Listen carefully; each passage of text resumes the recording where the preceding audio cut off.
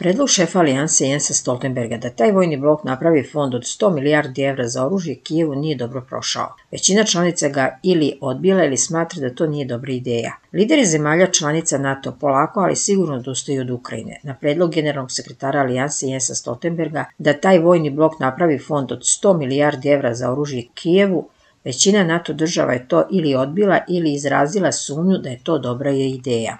Stoltenberg je na proslavi 75. godišnjici od osnivanja NATO-a u četvrtak u Briselu predložio formiranje pozamašnog fonda za Ukrajinu, koji bi u narednih pet godina trebalo da obezbedi stabilno snabdevanje oružjem te zemlje u ratu protiv Rusije. On je na tu revolucionarnu ideju došao nakon što su Sjedinje američke države obustavile finansiranje Ukrajine budući da u kongresu nije prošao predlog zakona o vojnoj pomoći Kijevu vredan 60 milijardi dolara. Međutim, većina ministara spoljnih poslova država članica alijanse okupljenih u Briselu na Stoltenbergov predlog je prema pisanju evropskih medija prevrnula očima.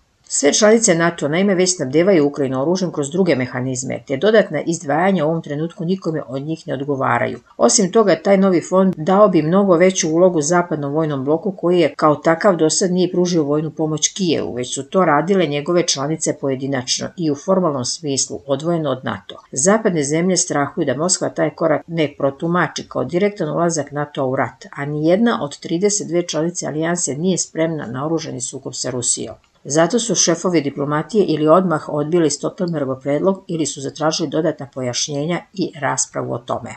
Najkonkretnije se Stoltenbergovom predlogu usprotivila Mađarska. Ministar spoljnih poslova te zemlje Peter Sijarto insistirao je na tome da je NATO odbrambeni, a ne napadački blok.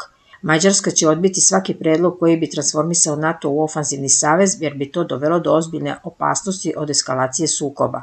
Ovo nije rat Mađarske, a nije ni rat NATO, kazao je Sijarto.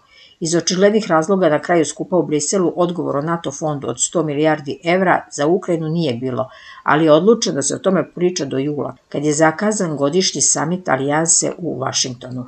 Prenosi portal informer.rs.